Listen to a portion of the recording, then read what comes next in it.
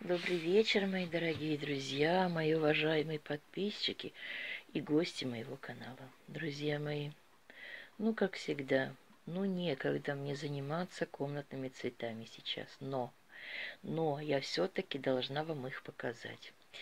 Ну, как сказать, комнатными. Часть этих цветов пойдет все-таки на высадку на улицу. Почему? Потому что я их для этого выращивала, чтобы высадить на улицу все-таки. Конечно, я не смогу вам сегодня показать все, но о, часть из них я вам все ж таки покажу, друзья мои. Ну, э, прошу вас, э, у кого нет терпения, можете, конечно, не смотреть. Вот. А кто хочет посмотреть все ж таки, что у меня есть, давайте я вам начну показ. С чего же начать? Ну, наверное, я все ж таки э, начну вам вот с этой красоты, друзья мои. Посмотрите, какая красота, да? Посмотрите только, только посмотрите, какая красота. Ну ведь я все время вспоминаю свое детство, бабушкино окошечко. И вот эти красавцы-цветочки у нас цвели на окнах. Они были ярко-красными, розовыми, белыми, да? Называли мы их огонек. Но, друзья, конечно, это не огонек. Друзья, это бальзаминчики. И посеяны они, конечно же, из семян. Вы знаете, так быстро выросли эти, этот бальзаминчик. Ну, я даже не ожидала, что он так быстро вырос. И вот посмотрите, он цветет, и у него уже образовалась коробочка с семенами. Видите? Я специально не хочу ее убирать. Мне хочется попробовать вырастить из своих собственных семян, насколько быстро они взойдут. Ну вот просто интереса ради. Вы посмотрите, как цветет бальзаминчик. Хочу сказать, что он у меня не один. У меня их оказалось четыре штуки. Ну, один уж совсем маленький, и что-то он растет очень плохо на окне у моих детей. А вот этот вот, посмотрите, какой маленький уже цветет. Кстати говоря, тот, что у детей на окне, тоже маленький и уже с бутончиком. Ну, э, к сожалению, оказались одинаковые, что вот эти, да, что вот этот бальзаминчик. Однако, друзья мои, как мне нравится этот цветочек. Я все время вспоминаю, что мне всегда, э, я любила смотреть на наши цветочки на окне. Вот смотрите, видите, э, везде есть семенные коробочки, и мне интересно, вырастут ли из них семена, хотя, э, кто его знает, может быть и нет, потому что их никто не опылял. Итак, друзья, это вот два бальзаминчика. Я вам пока... Вот этот бальзаминчик, друзья, мне кажется, все ж таки на него напал клещ. Посмотрите, уже у него такие листочки. Его нужно срочно, срочно, срочно что-то с ним сделать, чтобы не погиб. Потому что, ну, сами видите, у него листочки какие-то все в пятнышках. Я боюсь, что это клещ. Ну, однако он цветет. Вот еще один у меня бальзаминчик это третий, друзья, но, к сожалению, почему-то я не вижу на нем цветов. Странно, правда? И уже такой большой, а цветочков, увы, нет. И я вот думаю, может, это совсем другого сорта бальзаминчик. Уж очень хочется скорее, чтобы он вырос. И посмотреть, ну, и зацвел. Почему же он не цветет, не знаю. Он тоже стоит на окне у моих детей, как видите, уже большой. Может быть, что я рано посадила его в большой горшок? Надо было в маленьком оставить. Ну, не знаю. Буду смотреть, что получится. Так, друзья мои, это что касается бальзаминчиков. Кстати говоря, я, у меня есть там три э, таблеточки торфяных. Я хочу попробовать этот бальзаминчик укоренить в таблеточках, чтобы высадить на улицу. Ну, это что касается бальзаминов. Посмотрите, ну какая красота, друзья мои. Ну просто красота, не правда ли? Вот, ну, вообще, э, и столько у него бутончиков, он же будет цвести. Их ведь э, все время называли неугасимка, да? То есть они цветут и цветут и цветут без перерыва. Ну, какой красивый компактный кустик, я вам хочу сказать. Ну, мне очень нравится. Ну, давайте я уберу это растение. Так, покажу следующее. Следующее, друзья – ну, я, наверное, покажу вот этот вот э, цветочек, который называется примула малако и десметельчатая. Вы посмотрите, друзья, э, были семена, которые я посеяла в два рядочка. И вы посмотрите, как замечательно выросли уже они.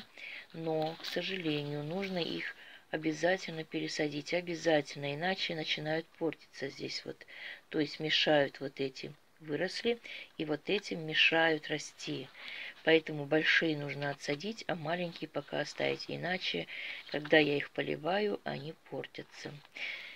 Это, друзья мои, очень красивая метельчатая а, примула, которая растет в комнате. Именно комнатная примула. Выращивают ее на окошечке. Вот. Я не знаю, когда она зацветет. Это новое для меня растение. Я уже один отсадила цветочек. Ну, вы знаете, вот я его рано отсадила.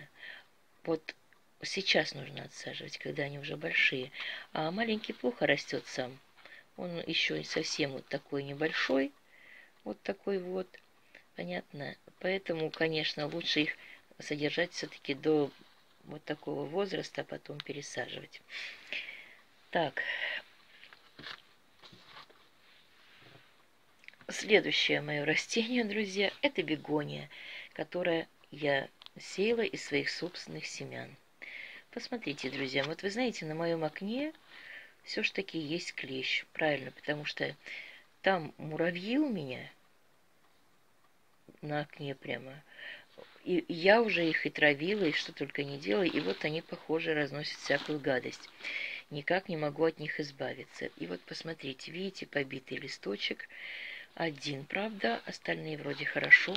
Хочу сказать, что посеяны были а, ну, посеяны они были, друзья мои, где-то в феврале, а 18 марта я их немножко распекировала. Не все, правда, а часть, потому что часть была хорошо взошла, а часть мало. И я просто их хорошо вот пересадила. И вот посмотрите, какие уже прекрасные бегонии. Эти бегонии клубневые.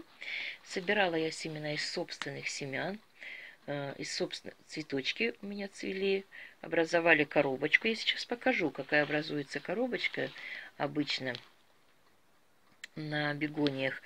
Ну, вот на примере вот, этих, вот этого цветка я покажу коробочку, друзья, чтобы вы имели представление. Вот такая вот образовывается коробочка, обратите внимание. Вот видите, вот такая коробочка. В этой коробочке семена – но чтобы они были схожими, их обязательно нужно опылять. Вот у меня было взрослое растение, цвело, цвело оно, я его с одного на другой листочек опылила, и образовалась коробочка, которую я э, сохранила, высушила и сохранила в полиэтиленовом пакетике, прямо в коробочке в этой. Потом я зимой эту коробочку вскрыла, посеяла семена, и вот у меня взошли собственные бегошки. Так что рекомендую, кому хочется иметь такие бегонии быстро, которые размножить можно, это вот самим вырастить такие э, бегошки, опылив э, вручную. Я опыляла э, ушной палочкой, опылив вручную самим бегошку и высушив коробочку, получить свои собственные семена. Так, друзья, это что касается бегонии такой клубневой. Теперь хочу вам показать бегонию. Э, маточное растение, которое я вырастила в прошлом году, друзья мои. Было у меня два, я уже рассказывала. Два вот таких растения было у меня. Вот это с розовыми цветочками, обратите внимание, да? Вот такая красота. Друзья мои, оно, оно цветет хорошо только на окошке. Ну, прекрасно она себя, как видите, чувствует на окошке. Ему второй год, этому растению. Весной прошлого года я сеяла семена. И вот зиму я сохранила. Одно, правда, сохранить не удалось, потому что негде было его сохранять. Оно у меня стояло на, на полочке, но, к сожалению, на полочке ей, ему, этому растению не понравилось, и оно погибло. А вот это растение мне удалось сохранить, как видите. Вот, и посмотрите, какая получилась красота. Но факт заключается в том, что от этого растения я очень много размножила уже. Размножается очень замечательно, друзья. Вот такими череночками. Посмотрите, это вот в этой чашечке, да, череночки. А вот посмотрите, какие. Я уже вперед показывала. Вот я сейчас опущу большое растение, чтобы... Итак, я убрала растение маточное, чтобы оно не мешало. Вы посмотрите, друзья. Вы посмотрите, какая красота. Уже все укорененные растения, ну, почти все, можно сказать, в цвету. Я уже вперед вам показывала как-то э, эти растения какие цветочки были. Был интересный такой вот цветочек, вот такой вот точно, полненький. Вот. И вот, как видите, все растения укорененные уже, можно сказать, цветут. Да, замечательные. Вот они даже, посмотрите, как хорошо кустятся. Вообще, это растение такое неприхотливое. Это бегония вечно цветущая, друзья. Очень неприхотливое. Лишь бы ему было свет – и благо, и все. И оно вас одарит своими цветочками, будет дарить вам цветочки круглый год. Поэтому оно и называется вечно цветущее. Друзья мои, но в этом году я сеяла еще бегонии вечно цветущие. Я вам сейчас покажу. Правда, они у меня здесь не все. А, часть у мужа в спальне, но он отдыхает, и я не хочу его тревожить. Вот, потому что время позднее уже, очень позднее. Я вам сейчас покажу. Вот еще, видите, тоже укорененные. Это вот недавно я укореняла. А, здесь, кстати говоря, друзья, еще одно растение. А, это, это, друзья, катарантус. Это тоже черенки растения. Вот хочу показать, какие уже корешочки. Обратите внимание, друзья, видите? Уже нужно его высаживать. Вот, посмотрите. Вот. Кстати говоря, вот у бегонии вечно цветущей тоже, посмотрите, какие корни. Это все нужно высадить уже. Высадить обязательно в емкости, иначе они могут погибнуть, эти растения. Ну, тут не только, тут вот еще есть такое же растение. Вот, посмотрите, видите? Тоже с корешочками, как видите. Вот, все это укоренялось, друзья мои, для того, чтобы высадить все в сад. Так, Друзья мои, хочу показать вам э, бегонию вечно цветущую, которую я сеяла в этом году. Хочу сказать, что сеяла я бегонию вечно цветущую двух сортов. Это э, ну, смесь э, окрасок цветов и двух сортов э, с, разными, с разной окраской листьев. Надо сказать, что первый посев был очень неудачным – почему? Потому что получилось, что взошли хорошо только с темными, с бордовыми такими вот листочками. Видите, какие красивые? Просто красавцы, друзья. Даже цветочков не надо. Вы только посмотрите, какая красота, да? Смотрите, блестящие такие листья, широкие. Во второй же партии взошли как с такими листочками, так и с зелеными листочками. Ну, э, они стоят у мужа на окне, поэтому ну, я просто в следующий раз вам покажу их. Если интересно, заходите. Я, кстати, буду показывать проглоксинии, э, которые у меня взошли из покупных семян и из моих семян, и что с ними сейчас уже есть. Но это будет в следующем видео. Вот такие вот, друзья, прекрасные получились растеницы, да? Ну, конечно, эти уже большие, это из первой партии. Они были посеяны Э, где-то в начале марта. И вот посмотрите, какая красота. Друзья, я не дождусь, когда они зацветут. Ну, просто не могу дождаться такую красоту. Так, ну это вот что касается бегонии вечно цветущей. Друзья мои, я уже начала вам рассказывать про катарантусы. Вот я еще укореняла в емкостях. Хочу сказать, что растут катарантусы очень медленно сначала.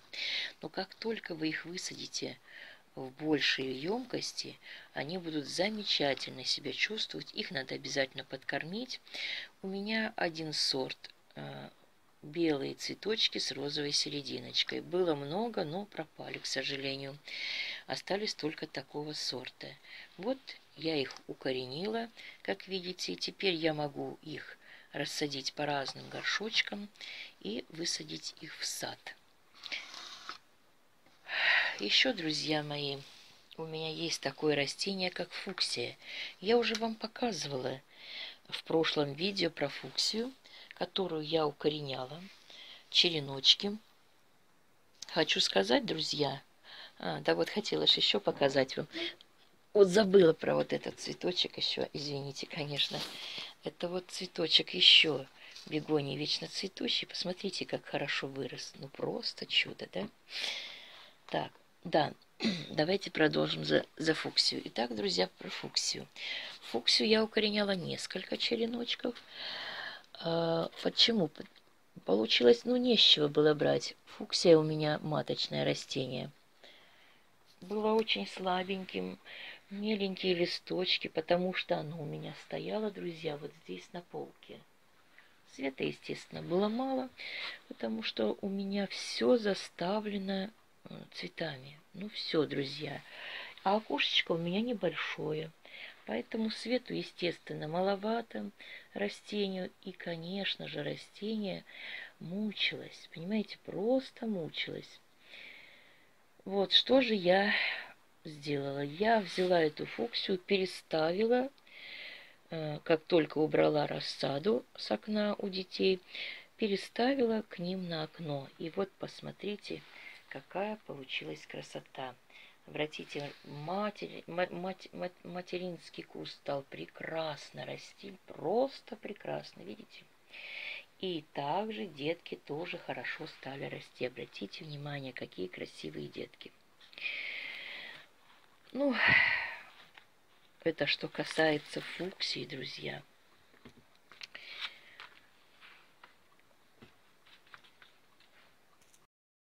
Друзья мои, вот еще один прекрасный цветок, который я э, черенковала, то есть укореняла черенок. Он был таким махоньким, друзья мои, махоньким-махоньким. Я думала, он не вырастет. Я взяла его, переставила на окно. Это пахистахис, друзья мои. Посмотрите, он начал цвести, но это еще не полностью расцветший цветок. У него будет еще вот такие белые а, язычки отсюда. Ну, это кто не знает, как он цветет.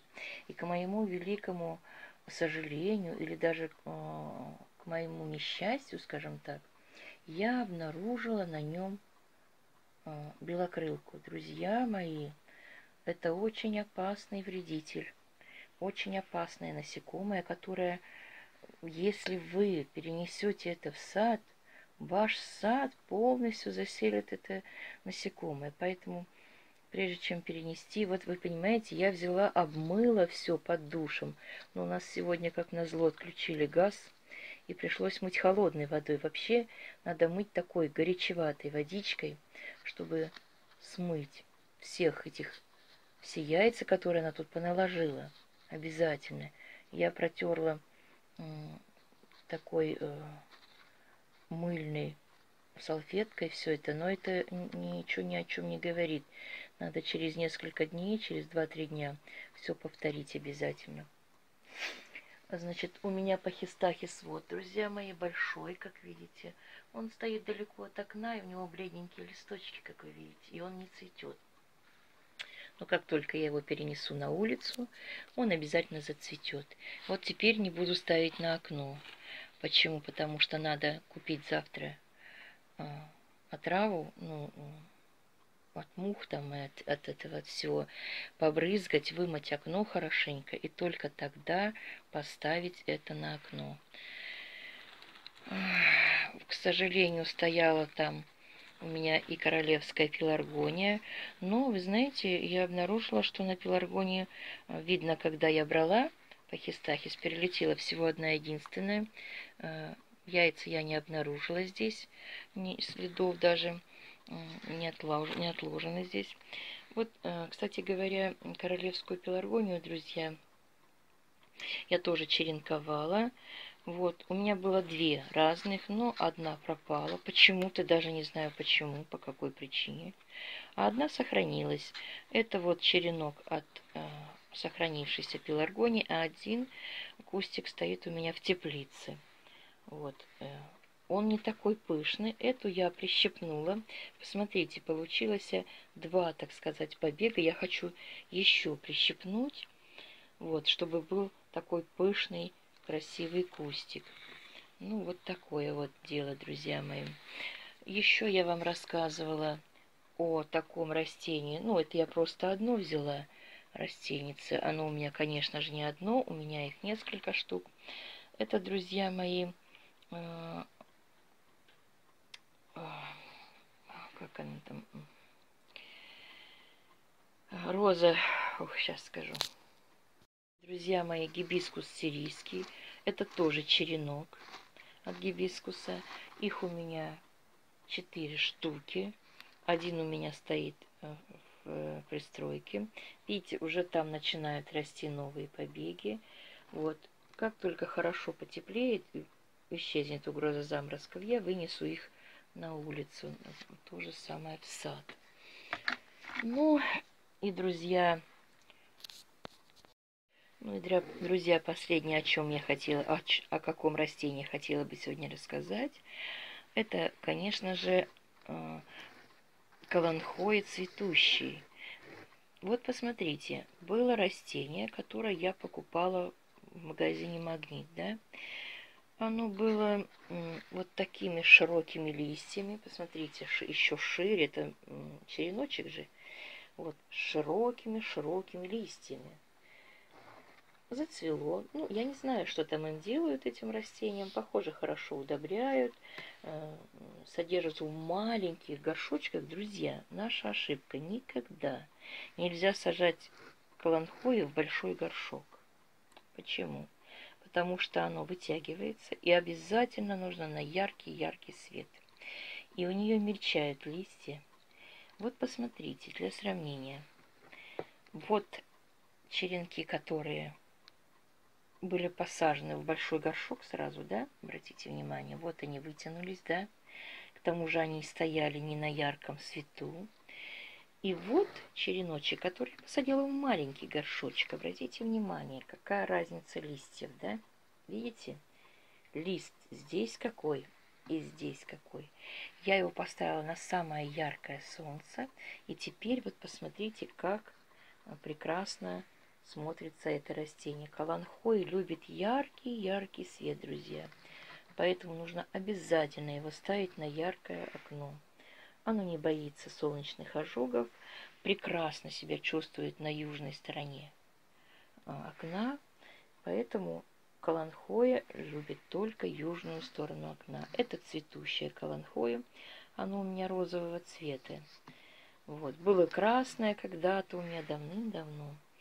Вот, ну, я потом вот приобрела вот такой розовый каланхоя. Надеюсь, что она зацветет. Нужно ему, конечно, поставить опору. Но я сейчас поставлю. Ну, вот так, друзья, я подвязала его к опоре. Вот. И, как видите, оно прекрасно смотрится. Ну вот, мои дорогие друзья, это, пожалуй, все, что я хотела вам сегодня рассказать. В следующем видео я покажу другие свои цветочки, которые я тоже укореняла, а также которые у меня прекрасно себя чувствуют в моем доме. Если вам интересно, заходите на канал. А сегодня я с вами вам говорю до свидания. Всего вам доброго, прекрасных вам цветов, замечательных урожаев, а главное здоровья. С вами была Валентина, канал Сад и огород.